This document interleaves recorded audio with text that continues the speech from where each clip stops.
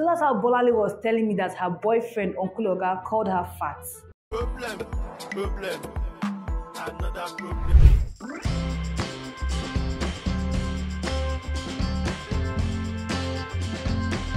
Bolanle, and Uncle Oga have been in a long distance relationship for a few months. And you guys know how it is now. From late night calls, oh FaceTime, video chatting, and all that. And all was going well. Also, she thought. So Bolanle went visiting for the first time, and you know, they had a great time. When she landed, he was happy. They went straight, they had dinner, met his family, and all that. But later, she realized that he had a sad look on his face, more like a worried look. She asked him what was wrong, but he said it was nothing. When he finally replied, he said she looked fat. Hey!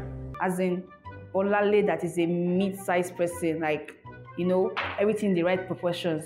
And he's calling her fat. Shut up, that's an insult.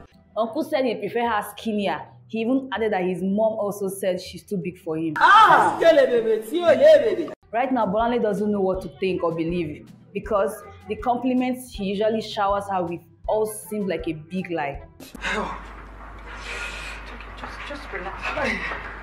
My dear girlies, you only live once. Today it's weight and fat. Tomorrow it can be something else. Uh-huh. You feel it's something you can do for love, which for the record I really did not advise. Then join the gym, but this relationship is still very young. Just call it quits with this guy and avail yourself to someone who would respect your body and embrace you for who you are. Allow yourself be. Someone who loves your body as it is is out there and they'll find you. And Uncle Oga, no matter how skinny she is at the moment, just remember that at some point she might add some weight, especially after childbirth.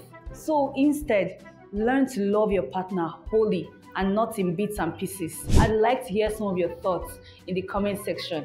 You can also send related questions like this to ask at arewaworld.com.